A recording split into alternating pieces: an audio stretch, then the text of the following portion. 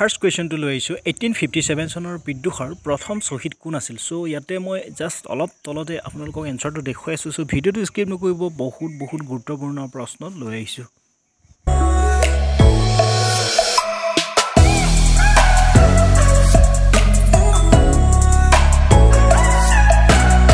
প্ৰথম কুৱেশ্যনটো লৈ আহিছোঁ। প্ৰথম প্ৰশ্নটো চাব এইটিন ফিফটি ছেভেন চনৰ বিদ্ৰোহৰ প্ৰথম শ্বহীদ কোন আছিল? চ' এনচাৰটো কি হ'ব পাৰে? নিজৰ মনতে এটা কনফিডেঞ্চ লৈ আহক যে অপশ্যন নোহোৱাকৈ মই এনচাৰটো পাৰিছোঁ। মই ভাবোঁ মষ্ট কমন কুৱেশ্যন বুলি মই ভাবোঁ। চ' এনচাৰটো চাম। এনচাৰটো হৈছে মংগল পাণ্ডে। আকৌ এবাৰ দেখুৱাইছোঁ আকৌ এবাৰ চাই ল'ব। মংগল পাণ্ডে। আমি নেক্সট প্ৰশ্নলৈ আহিছোঁ। দ্বিতীয় প্ৰশ্নটো আমি চাব যাওঁ দুই নম্বৰ প্ৰশ্নটো। ভাৰতত ডাক টিকট কোনে প্ৰচলন কৰিছিল? ভাৰতত ডাক টিকট কোনে প্ৰচলন কৰিছিল বুলি যদি প্ৰশ্ন আহে চ' মই ভাবোঁ বহুত বহুত গুৰুত্বপূৰ্ণ প্ৰশ্ন হয় এম চি কিউ কুৱেশ্যন বুলি মই ভাবোঁ। চ' মনত ৰাখিব আমি এতিয়া এনচাৰটো চাব যাম।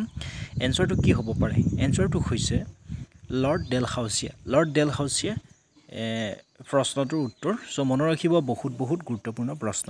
তিনি নম্বৰ প্ৰশ্নলৈ আহিছোঁ। ভাৰতীয় জাতীয় কংগ্ৰেছ কেতিয়া গঠন কৰা হৈছিল? চ' ভাৰতীয় জাতীয় কংগ্ৰেছ কেতিয়া গঠন কৰা হৈছিল বুলি যদি প্ৰশ্ন আহে কি হ'ব পাৰে?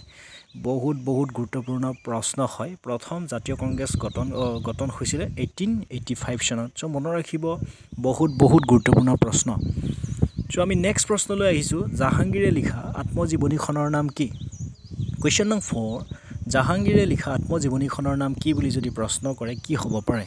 চ' মই জাষ্ট অলপ তলতে আপোনাক এনচাৰটো দেখুৱাই আছোঁ আপোনালোকক।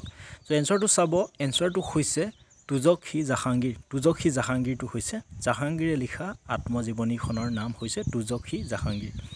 নেক্সট প্ৰশ্নলৈ আহিছোঁ। ভাৰতৰ প্ৰথমগৰাকী মহিলা আশক কোন আছিল? চ' বহুত বহুত গুৰুত্বপূৰ্ণ প্ৰশ্ন মনত ৰাখিব। ভাৰতৰ প্ৰথমগৰাকী মহিলা আশক হৈছে এনচাৰটো আমি চাব যাওঁ প্ৰশ্ন উত্তৰটো চাব যাম উত্তৰটো কি হ'ব পাৰে? উত্তৰটো হৈছে ৰেজিয়া চুলতানা। চ' ৰেজিয়া চুলতানা হৈছে ভাৰতৰ প্ৰথমগৰাকী মহিলা আশক আছিল ৰেজিয়া চুলতানা। চ' মনত ৰাখিব বহুত বহুত গুৰুত্বপূৰ্ণ প্ৰশ্ন। চ' কুৱেশ্যন নং ছিক্সলৈ আহিছোঁ। এন আৰ চিৰ সম্পূৰ্ণ নাম কি?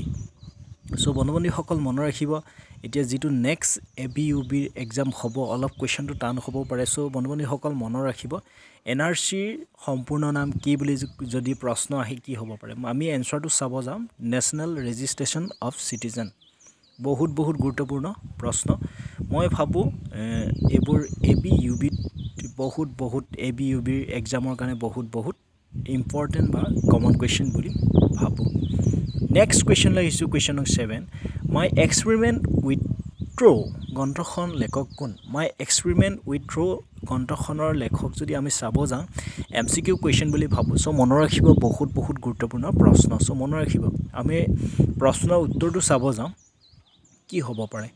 চ' মহাত্মা গান্ধী। চ' প্ৰশ্নৰ উত্তৰটো হৈছে মহাত্মা গান্ধী। গ্ৰন্থখনৰ লেখক হৈছে মহাত্মা গান্ধী। চ' মনত ৰাখিব বহুত বহুত গুৰুত্বপূৰ্ণ প্ৰশ্ন। কুৱেশ্যন নং এইটোলৈ আহিছোঁ আমি। কুৱেশ্যন নং এইটটো চাম। ভাৰতীয় জাতীয় কংগ্ৰেছৰ প্ৰথম সভাপতি কোন আছিল?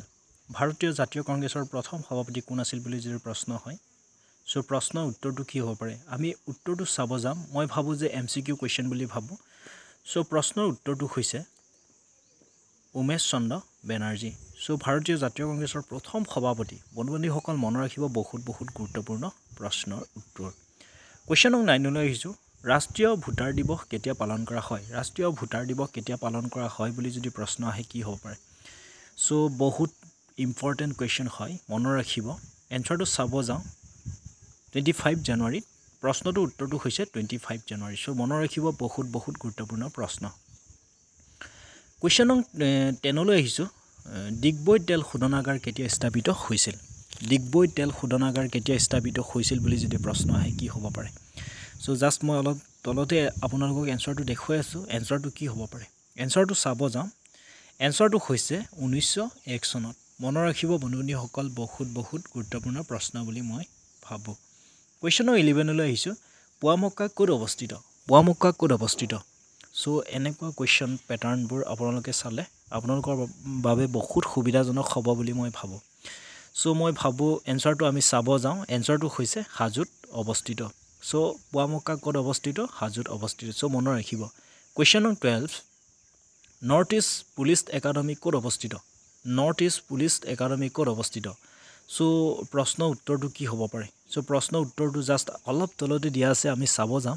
প্ৰশ্ন উত্তৰটো মেঘালয়ত অৱস্থিত। চ' মনত ৰাখিব নৰ্থ ইষ্ট পুলিচ একাডেমি মেঘালয়ত অৱস্থিত।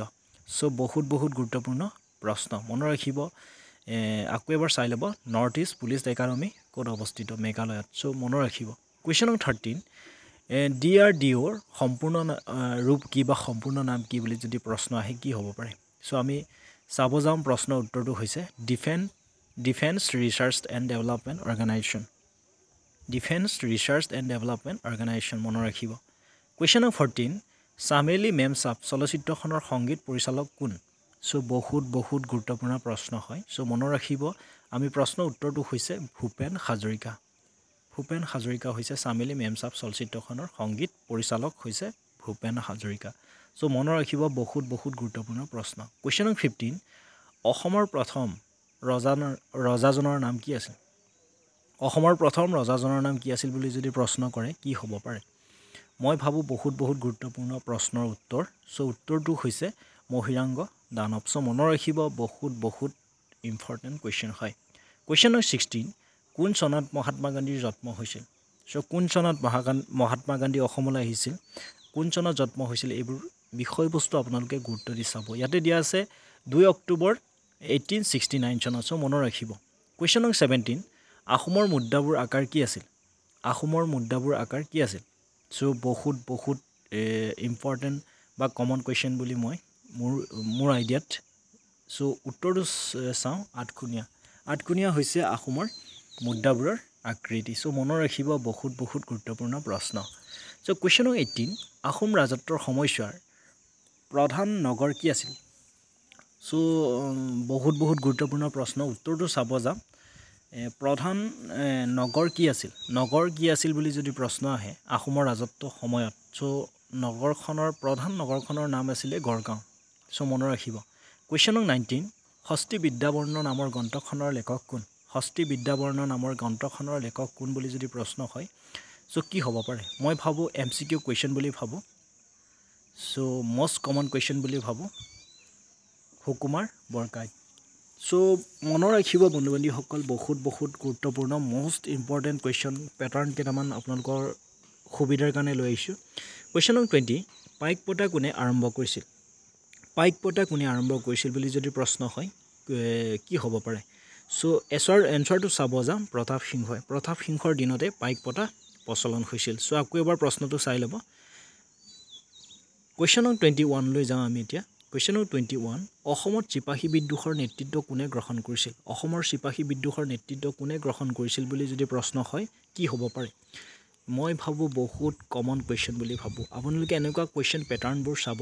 মণিৰাম দেৱান আছিল প্ৰশ্নটোৰ উত্তৰ। চ' আপোনালোকে এনেকুৱা কুৱেশ্যন পেটাৰ্ণবোৰ চালে আপোনালোকৰ বাবে বহুত সুবিধাজনক হ'ব বুলি মই ভাবোঁ। কুৱেশ্যন নম্বৰ টুৱেণ্টি টু চিপাহী বিদ্ৰোহ কেতিয়া সংগঠিত হৈছিল?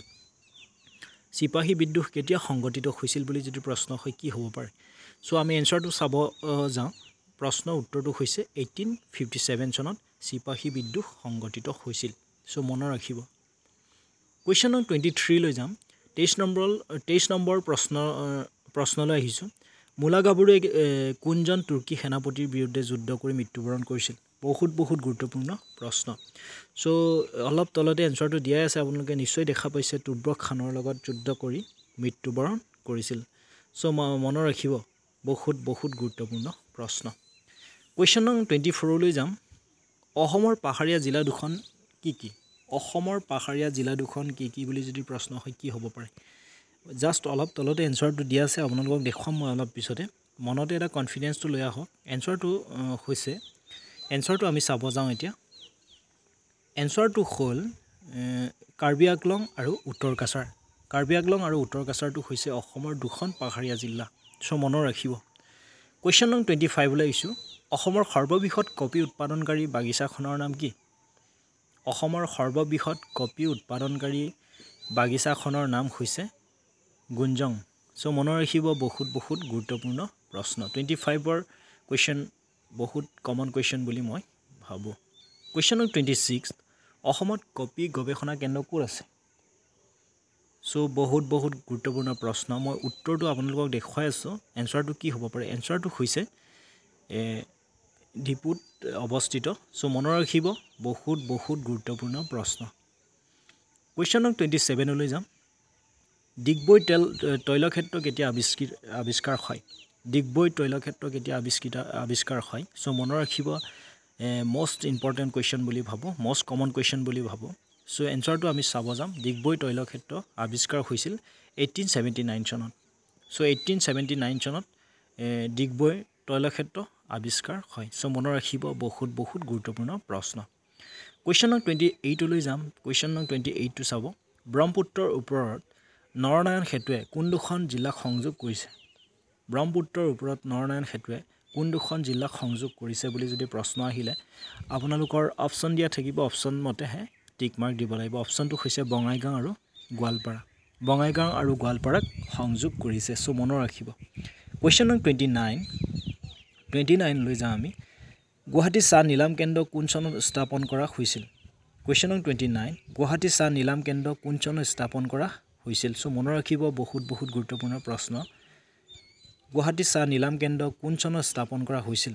মষ্ট কমন কুৱেশ্যন বুলি ভাবোঁ। চ' প্ৰশ্নৰ উত্তৰটো হৈছে প্ৰশ্নৰ উত্তৰটো আমি চাব যাম কি হ'ব পাৰে। নাইনটিন ছেভেণ্টি চনত। চ' মনত ৰাখিব বন্ধু বান্ধৱীসকল এনেকুৱা যদি কুৱেশ্যন পেটাৰ্ণ আপোনালোকে যদি প্ৰশ্নত প্ৰিপেৰেশ্যন বা প্ৰেক্টিছ কৰে নিশ্চয় এক্সাম আপোনালোকৰ বহুত বহুত ভাল হ'ব বুলি মই ভাবোঁ। So' M C Q question বুলি ভাবোঁ। চ' বন্ধু বান্ধৱীসকল আমি আজি টুৱেণ্টি নাইনটা কুৱেশ্যন ডিছকাছ কৰিলোঁ। সকলোকে মোৰ ফালৰ পৰা বহুত বহুত ধন্যবাদ। জ্ঞাপন